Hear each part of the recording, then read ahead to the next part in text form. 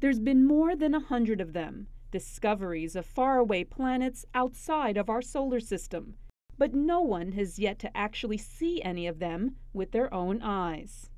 Most of the observations out there right now are what we call indirect detections. Either the planets are found through um, spectroscopic observations that reveal a wobble, or they're found as they transit across the face of their parent star, and you see a small dip in the light coming from them. Now, scientists, with help from the Hubble Space Telescope, have spotted the first extrasolar planet. You know, we weren't expecting to find it. We thought it would be too, too faint.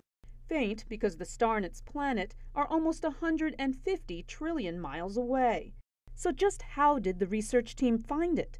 By looking at a star they studied two years before. You blink backwards and forwards between the 2004 image and the 2006 image, and you look for the um, objects that um, either don't, don't disappear or move a very small amount. Small amount relative to the star means it's part of the same system. A planet gravitationally bound to the star known as Fomalhaut.